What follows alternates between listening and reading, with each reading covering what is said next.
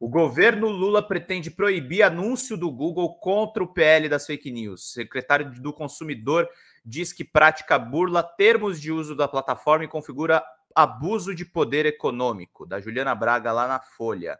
O secretário nacional de, é, do Consumidor do Ministério da Justiça, Vadida Mus, que, é, que foi deputado federal, antecipou ao painel que a pasta emitirá nesta terça-feira uma medida cautelar para proibir o Google de fazer propaganda contra o PL das fake news. Nesta segunda-feira, quem acessasse a plataforma de busca vinha destacado o link com a seguinte mensagem: o PL das fake news pode aumentar a confusão sobre o que é verdade ou mentira no Brasil. Mais cedo, repercutiu nas redes sociais um print com outro link ainda mais direto em que afirmava que o projeto de lei poderia piorar a sua internet.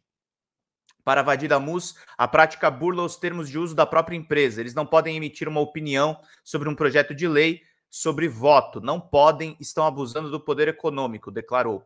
O secretário afirmou ser favorável à regulamentação das redes e criticou a atuação das big techs. É uma lacuna no marco civil da internet. Eles não podem continuar com essa semi-responsabilidade. Eles ganham dinheiro com essa publicidade, avalia o secretário.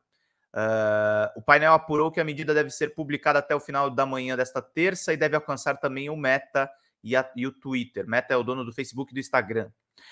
O PL das fake news tem previsão de votação nesta terça, mas de acordo com fontes do governo pode acabar sendo adiado devido à falta de acordo. O relator do texto, o deputado federal Orlando Silva, afirmou que os líderes devem voltar a se reunir antes da votação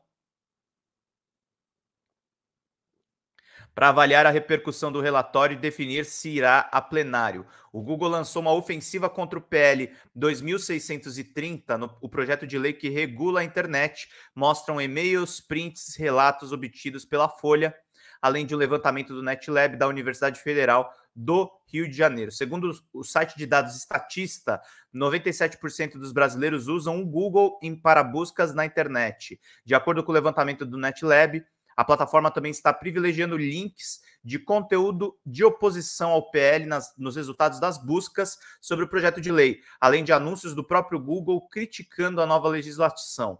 Em nota, o Google diz que as alegações não correspondem à realidade, como fica comprovado pelo fato dos links para o blog do Google, por exemplo, também estarem bem posicionados em ferramentas de busca de concorrentes. Não alteramos manualmente as listas de resultados para determinar a posição de uma página específica. Nossos sistemas de ranqueamento se aplicam de forma consistente para todas as páginas na web, incluindo aquelas administradas pelo Google. A briga está grande, gente. A briga, a briga agora está envolvendo de fato as empresas. É, e uma crítica que se faz normalmente a esse projeto é que não teve discussão. E eu